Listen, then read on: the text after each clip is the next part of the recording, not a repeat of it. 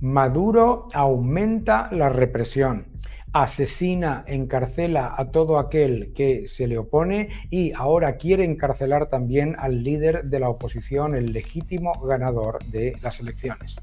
Se está intentando que se genere un silencio por parte de la izquierda que permita que Maduro se perpetúe en el poder. Y de ahí muchos de los trucos que os voy a contar. Vamos a hablar de todo ello.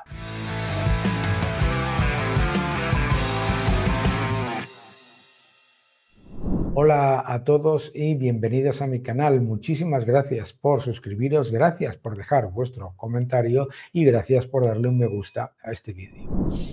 ¿Por qué te debe importar Venezuela? Venezuela te debe importar porque en Venezuela hace dos décadas se decía también, no hombre, no, Venezuela no es Cuba. Y Después, en Argentina también se decía, no, hombre, no, Argentina no es Venezuela. Y ahora en España se dice, qué exageración, España no es Venezuela. Fijad lo que es lo que está ocurriendo en Venezuela. Lo que está ocurriendo en Venezuela, en Venezuela, en Venezuela es extremadamente preocupante. En Venezuela, el narcodictador Maduro se enroca en el poder y mantiene su posición a toda costa, llevando a cabo un asalto a los derechos humanos ya sin precedentes. Y eso que la, narcodictadura de Maduro ha asesinado a más de 9.400 personas y mantiene a cientos de eh, presos políticos. Pero, ¿qué es lo que ha ocurrido? Veréis, mira, la izquierda lo que utiliza es una manera de perpetuar en el poder a este, a este narcodictador. Eh, viene Lula y dice, hombre, se tendrían que repetir elecciones. Así ah, se tendrían que repetir elecciones, pero si lo que tenemos es la evidencia de que ha ganado incontestablemente la oposición. ¿Veis? Es el truco, ¿no? O te dicen, no es que hay que dialogar. Hay que dialogar entre la narcodictadura y los oprimidos. Pero ¿cómo vas a dialogar entre un señor que asesina, encarcela y reprime a los ciudadanos y los reprimidos? Es una especie de broma que es muy típica de la izquierda europea y de la izquierda del mundo, que es la de asumir que a una dictadura asesina se la desplaza desde el diálogo. Por otro lado, claro, no es que lo asuman, sino que así ellos blanquean su posición. Por un lado dicen, no, hombre, no, Daniel, nosotros estamos a favor de que se publiquen las actas, estamos a favor de que haya nuevas elecciones, estamos a favor del diálogo, del diálogo. Claro, esa es la manera en la que se perpetúa una dictadura asesina como la de Cuba, como la de Nicaragua y como la de Venezuela. Atención a lo que está ocurriendo, porque claro, la Unión Europea ha hecho un comunicado en el que dice, vamos a ver, nosotros no podemos reconocer los resultados porque no se ha dado ningún tipo de evidencia de legitimidad de los resultados publicados por el CNE y avalados por un Tribunal Supremo que ni siquiera ha visto las actas y que está tomado por el chavismo. Bien, la Unión Europea eh, no reconoce el resultado, pero el presidente de facto sigue siendo Maduro y sigue manteniéndose en el poder y sobre todo se le exige desde las instancias internacionales que termine con la represión y a Maduro le entra por un oído y le sale por el otro. Esta idea de que a Maduro se le va a desplazar del poder eh, amigablemente, con cariño, con diálogo, etcétera, no es más que una manera de blanquear ¿eh? La posición del que se pone de perfil y, por el otro lado, perpetuar esa dictadura. Es importante también entender que lo que está haciendo Maduro es ganar tiempo para echar al máximo de personas del país y con ello, ¿eh? pues mm, dejar a ese núcleo de gente que depende de él y cuantos más eche, mejor. Esto es importante entenderlo.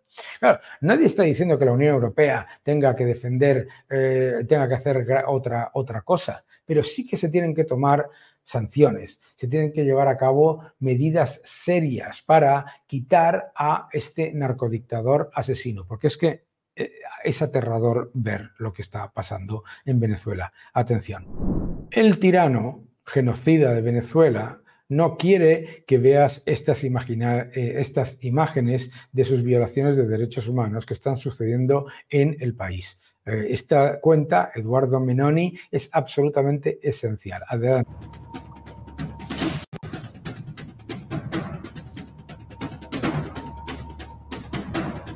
Esta es la represión diaria contra los ciudadanos de este narcodictador asesino y de toda su patulea que le, está apoyando.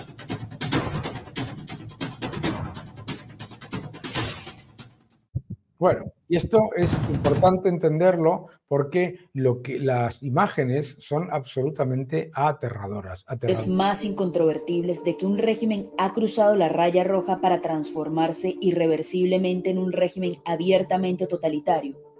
Lo tenemos cuando ese régimen desata una ola masiva de graves violaciones a los derechos humanos de niños y adolescentes. A raíz del triunfo irrefutable de Edmundo González Urrutia en las pasadas elecciones presidenciales del 28 de julio, en las últimas cuatro semanas, el régimen de Nicolás Maduro ha desatado la más cruel y sistemática campaña de terror jamás vista en la historia venezolana. Esta campaña de terror se ha ensañado con uno de los sectores más vulnerables y a la vez más fundamentales para el futuro de una sociedad, sus adolescentes, el semillero indispensable para la construcción de espacios más democráticos y justos. Para mediados de julio, en Venezuela había cerca de 300 presos políticos. En tan solo tres semanas, esa cifra se incrementó en más de un 500%.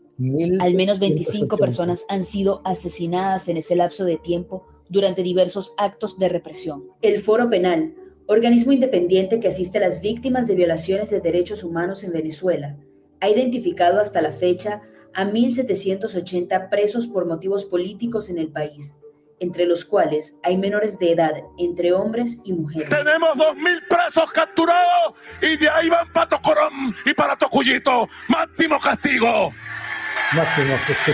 Justicia.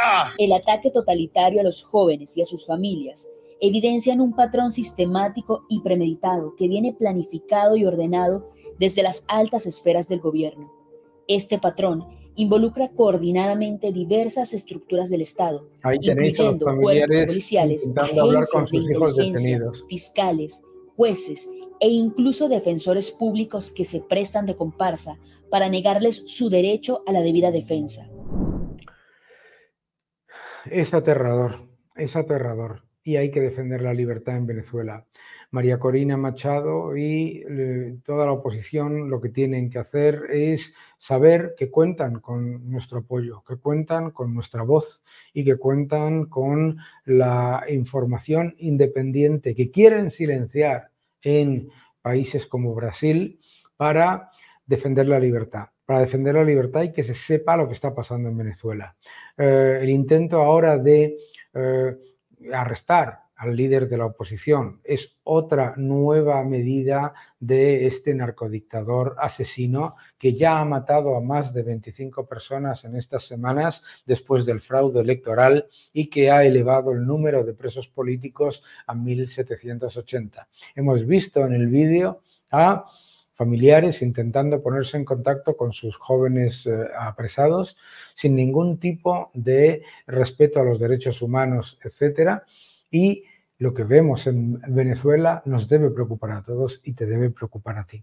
Te debe preocupar a ti porque lo que ha pasado en Venezuela no es una casualidad es un proceso y es un proceso que empieza destruyendo eh, las instituciones independientes, tomando las instituciones independientes y generando un régimen de terror que se escuda en, en mecanismos aparentemente democráticos para introducir lo que es una dictadura totalitaria y asesina. Que no te engañen.